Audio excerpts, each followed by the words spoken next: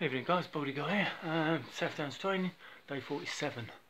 Uh, slightly in my ankle tonight. Uh, still managed about 8 minute pace for uh, 6.5 mile. Um, get, should get my new pair of trainers tomorrow, which is good.